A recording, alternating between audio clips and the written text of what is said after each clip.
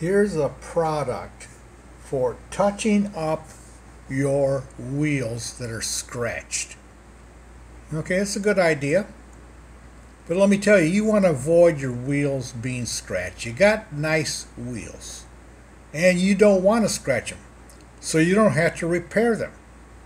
A beautiful wheel is an unscratched wheel. Where do scratches come from on your wheels? They only come from one place curbs. You pull in and hit a curb, get a scratch. Now, here in South Florida, we don't have parallel parking, which is end to end parking. You pull in or back in. Most people just pull in. But there's always in a, a row of uh, spaces, parking spaces to pull in, there's at both ends, there's a curb. So if all the spaces are taken except the ones with the curb, you pull into the one with the curb. And you're careful pulling in so you don't scratch your wheels and you get in. But what happens, and this has happened to me, you come out, you get in the car, and you forget that you're parked next to a curb.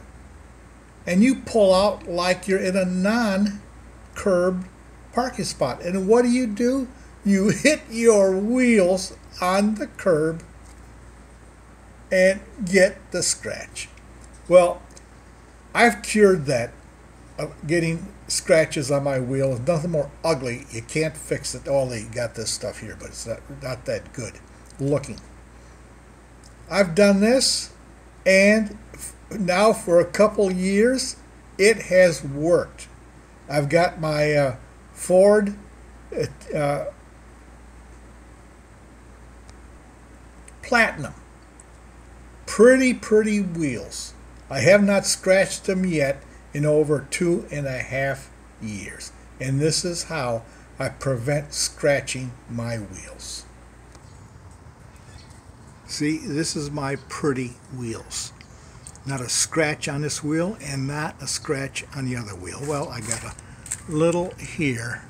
I don't know where that came from, but you can barely see it. This is how I prevent hitting curbs. I made this little note paper. When I pull in a spot, I know whether I'm parked next to a curb or not. I put this out and I put it right here. Big word curb. I get in the car and when I reach over here for the shifter, I see that word curb. That reminds me that I'm parked next to a curb. Because if you look out the window, you can't see if you're next to a curb or not. You forget about it. You back out, you cut it hard, and bang, hit the curb, scratch your wheels. This simple, stupid piece of paper that I put out when I know I'm parked next to a curb has stopped me now for two and a half years of running up on curbs and scratching my wheels.